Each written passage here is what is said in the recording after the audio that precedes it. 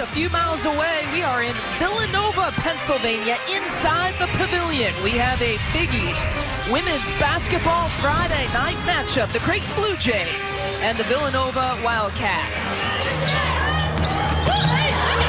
Still looking for the first points for the first two teams, and there's the sophomore Adrianna Hahn. And that's for Villanova. She has struggled a little bit. Looking backdoor for Tucker. Pass was off the mark, but they find Louin for three, and she rings it up. So Villanova hits last two shots.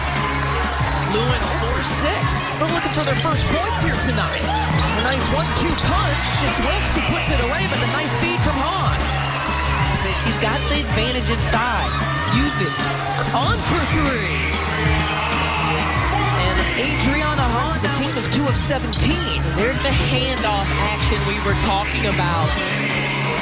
Bridget Hurley have outscored Villanova 20 to 8 in this quarter. 20 points in this, I believe, at Washington. Kind of a crazy game over there, a sellout game in Seattle. There's a two for Wilkes. That's it off. Louin looking to split the difference. Instead, she hands it off to Wilkes for two. Beautiful pass by Louin. 10 points against DePaul over the weekend. The first time she went back to back. There's a Panaya. Use their size. How about that move?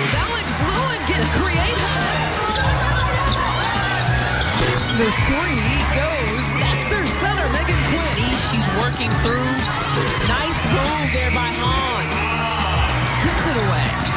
On the transition, Hahn wants it, pulls up. To the hands of Quinn.